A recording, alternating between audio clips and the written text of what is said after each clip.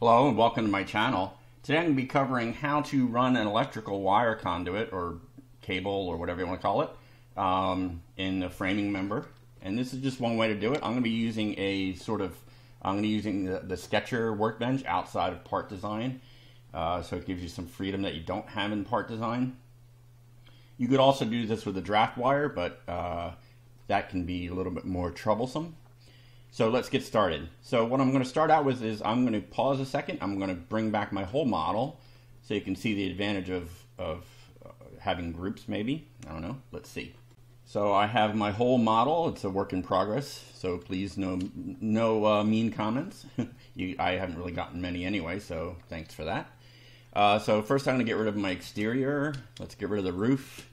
Uh, let's get rid of the two walls. And let's get rid of this north wall. Oh, nope, south wall. so that, see how that uh, isolates what you're working on. It's kind of nice. I like that. You could also do that with the part container here, uh, but that uh, adds certain restrictions and you can't move things around. So one of the things I don't like is you see when I toggle the north wall, I have two types of windows and it brought them both back and I, I like to figure out some kind of either or sort of thing. But onto the project at hand. So what we're going to start out with by is uh, this is my this is my wire, and it was created with a sweep and two sketches. Let me hide the sweep so you can see the sketches. Here's one line, and then there's the um, slot that I sweep swept along the uh, along the path there. So let me show you how I made that. So let me hide all these and uh, let's make that. So I'll leave the box here and what I'm going to do is I'm going to create a new sketch on this plane so I selected the plane, now I'm going to select sketch. And we're going to map the sketch to the flat face of that plane. That seems to work out okay and I haven't seen any problems yet. So what I'm going to do is uh, I need this to be a regular line, so let's get rid of the construction. And we're going to do a, um, a Bezier, or a B-spline. Sorry, I was, I've been calling that a Bezier for a while. So uh, I'm just going to map the general, uh, you know, where I generally want it. And one of the things I always do is I, I put uh, drag points uh, in between each bend because uh, it just seems to help out a little bit. Seems to work out better that way for me. So you, you might get mile, different mileage. So you can either right click or hit escape to end it. And that's our basic line. So we're, that's, we're done with that. And you see how it kind of runs along it, but it's set uh, flat against the face. So to move that in, we can go to attachment and let me see if I can explain this correctly. So this orientation right here, you know, up and down here is uh, ZX, or the plane that we were working on. Let me see if I can get to it. Nope. Yeah, there we go. So this plane right here is ZX. However, the sketch has its own um, origin. And so when you're working on the sketch, it's going to be, so that's its XY and its Z is going to be off off of those planes. Uh, so what we're going to do is we're going to move it in the negative z. So that's going to be back in this direction here. I hope that makes sense. It's a little hard to visualize with that. So let's move this sketch attachment in the negative z. So we're going to go attachment, position, and I'll just show you. So so that's negative z. See how it's moving back. So it's so that attachment is relative to the the sketches axes, not the global axes. And that was a uh, sticking point for me for a while. So I'm going to move it back an inch and a half, and that puts it just about right in the middle. Oh, wow, I really I hit those two, missed that one. Okay. So we're going to show you how to adjust it after you uh, made it a cable. So to make it a cable, I'm just going to pick the end of this. Let's hide this box so it's easier to see.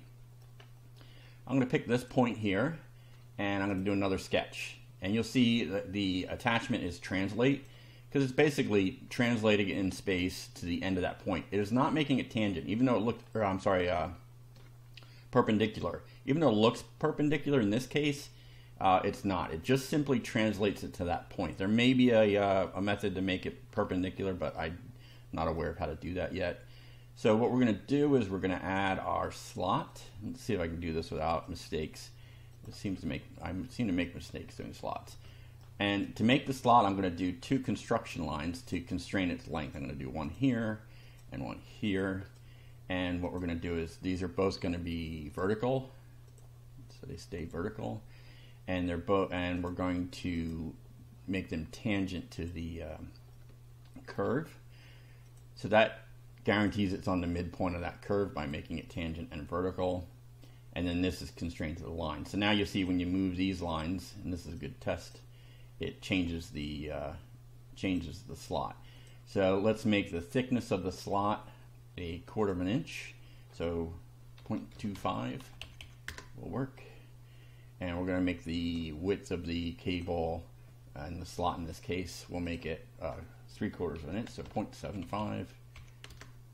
Or no, I think half inch is better. So like I said, I'm not a I'm not a builder, so I don't know, or an architect, so I don't know these uh, numbers by heart or anything. So I don't know what's happening there. Um, let's see if I can fix that. See how it uh, broke its broke its. oh, I see what happened. It made it tangent to this end side of the circle.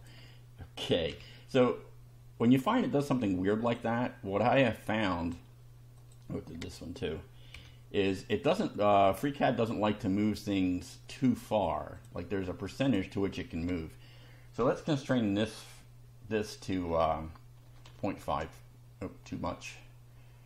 Uh, so like it's like you want the measurement to be close to what it's going to be before you before you move it. Um, so let's make that 0.5 inch there. So you see how it's it's kind of close. So and I want it to be centered around this point. So let's center it first, and then we'll do the construction lines. Now you could just you know in your head subtract the radius and stuff like that, but I don't like to do math. I'm sorry. I like math, but I don't like to do it. So I'm going to do my construction lines again. Oops, let's get rid of this first. So when you do a, um, a uh, symmetry constraint, it, it negates certain constraints that you don't need. Let's make these vertical again. And let's make them, so now they're tangent again. Now let's bring it real down, real far. And now let's do it. So that sort of thing is, is frustrating because FreeCAD, you know, it has to try to figure out what you mean. So it doesn't always get that right. So that's close to a half inch. let's do half inch. So now you see that it didn't put these tangent on the other side. Uh, and that kind of thing can be frustrating. Um, don't always assume that FreeCAD gets understands what you mean. I want to I want to say that FreeCAD gets it right, but it's not wrong. It's just didn't understand what you meant. So now we're going to sweep this uh, keyhole or, or slot along the line. So first you want to select the object and we're going to do that in the part workbench. So you can do sweeps in the part workbench without it being part of a part, if that makes sense. So I'm going to select sweep. and I hope it stays that way. So you notice it doesn't pre it doesn't carry the pre-selection, but I'm pretty sure it's yeah, so it's that one right there. And then the sweep path will be that sketch. So I'm going to do sweep path, select the sketch, and done, and then OK. And you see we've got our, our cable. Now, there's a quick aside I want to show you. See how this is like really rough looking?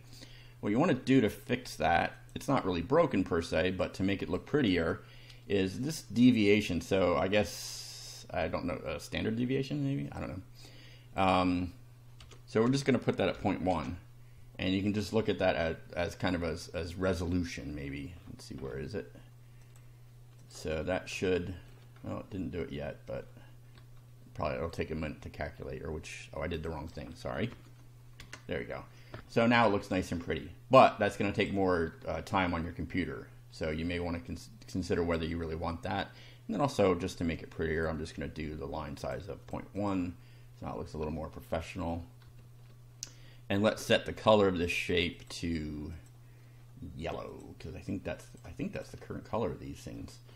All right, so now the next thing you say, well, that's great, but it's missing here, missing here, and I'd like to I'd like it to look more realistic. So the neat thing about this is that you can just simply take your sketch, your sweep path.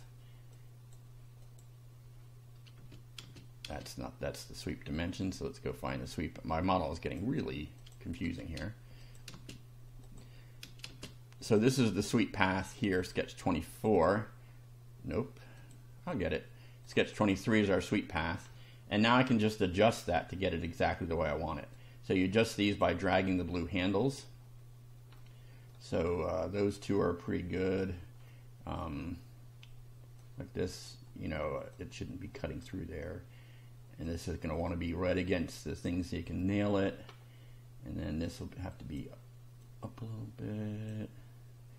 And then let's bring this one in. So it goes through the slot there, sort of.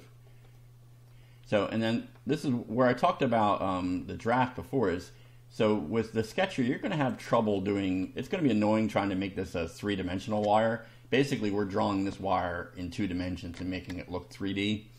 Um, uh, whereas draft can let you do uh, three dimensions a lot, Of, you know, uh, you can draw the line in three dimensions. So that's basically it. That's uh, what I want to show you today. Could have moved down a little bit better.